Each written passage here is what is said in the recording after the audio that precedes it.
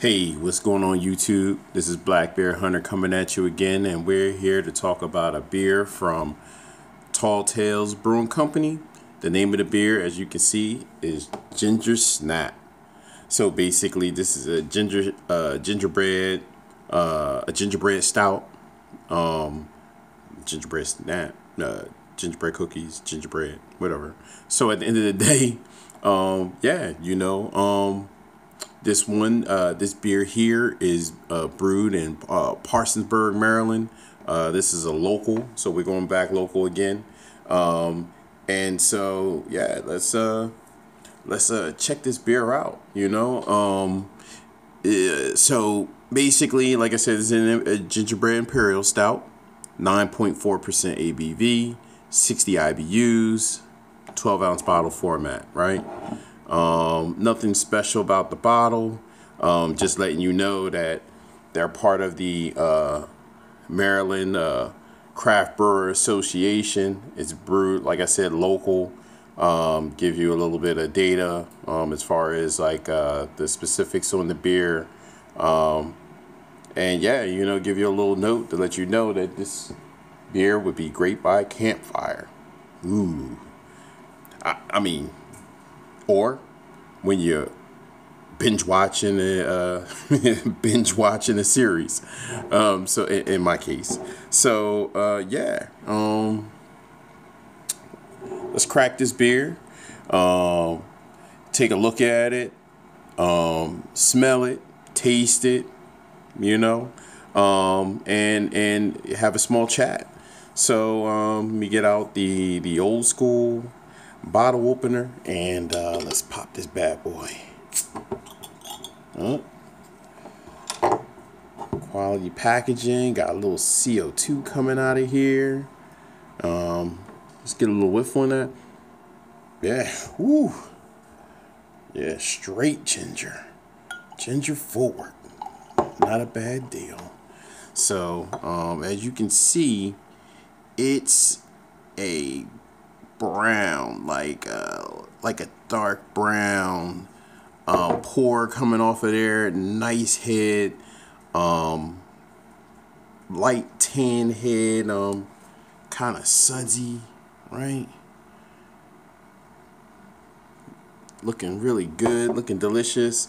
I mean, but it, it poured like light brown. You know, you can kind of see it like it was like a really dark amber, like chestnut look to it. Um, in the glass, it has that chestnut hue. Um, looks like the heads receding pretty quick, but um, it looked pretty thin, right? Um, not not a deal breaker, not a deal breaker. So um, minimal. The head's minimal, receding pretty quick. Um, sudsy, um, kind of spotty lacing, right? Like it's kind of like it's not uniformed with the lacing, which is, um, I guess, you know, still, still, you know, a lot of things could be going on. Um, it still could taste great. Like, look at that. It's holding on to the glass, so it may linger pretty well, um, which I, I love. Um, especially with a beer that has a lot of, uh, like a, with a ginger uh, abstract um, you definitely can get a lot of different um, like like I said, it can linger around and hang on your tongue and change in complexity as it warms. Um, so yeah, let's go ahead and, and check out the aroma, right?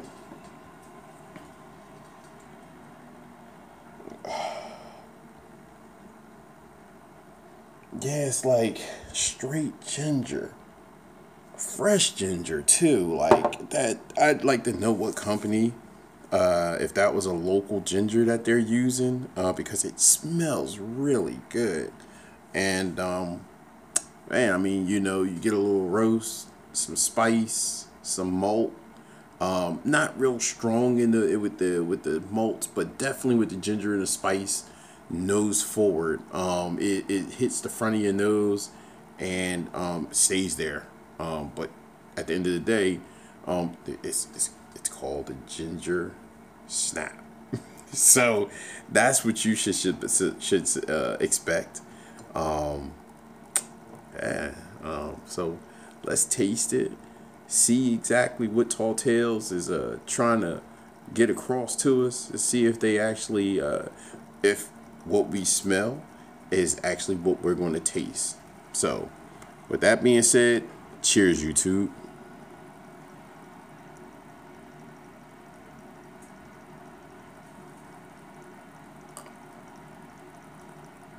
Mm. Ooh. So, um, it's real. Like, it's semi sweet, but that ginger is straight up front. Ginger slash gingerbread um, is is extremely aggressive. Um, not for me. Uh, I'm not sure how some other people would take it. This is definitely a ginger. Um, it's a ginger stout. It definitely is a ginger ale, ginger stout, ginger beer, um, whatever you want to call it. It's it's straight ginger. Um, you get a little semi-sweet dark chocolate, um, some black licorice. Um, it's a little malty. You know, on the back end, you get like a tons of malts after after you you know go ahead and and and and, and take a big swallow. You get the malts. Because, um, like, right up front, if you let it sit on your tongue, you're going to get a, bu- a bunch of ginger and some other spices. But at the end of the day, um, you do get some walnuts. Um, you can taste those, uh, the dark roast, um, dark roasted malts or dark roast coffee too, um, and, and, a bit of caramel, right? Um, yeah, yeah, man, it's it's definitely a ginger stout. So, um, with that being said, let's taste it again. It sat for a second. Um, it didn't. It's not like. Hold on.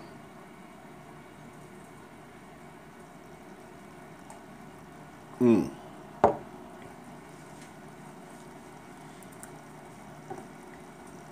There may be a little cinnamon in here. It's starting to come out as it warms up. You get a little cinnamon, real light, real faint, but it is definitely there. But it, it starts to taste a little different as it warms up. Um, not a bad beer. Um, not a bad beer at all. Not a great beer. A little too thin for my taste for a stout. Um, for an imperial stout, it's a little too thin.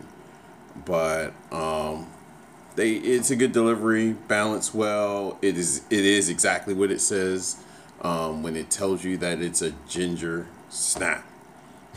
you know you you do get a real fresh bite from this beer.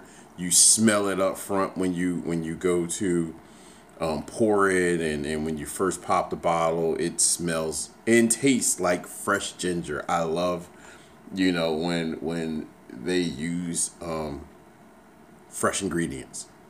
And that's exactly what you taste. So mouthfeel, like I said, extremely thin for an imperial stout. It's well carbonated, um, light body. Um, so you could probably go through a few of these in a sitting easily. Um, and it, it, on top of it, uh, yeah, it's it's it's definitely yeah, body wise, it's just thin. Uh, you can't really say much more about that. Um, and the carbonation, um, it's like medium carbonation on this. You get a, you get a decent amount of carbonation. So overall, it's basically ginger and a bit of chocolate.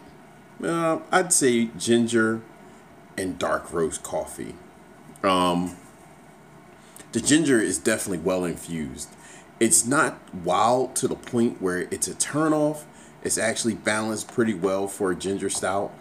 I've had companies that were, I guess you could say they were doing like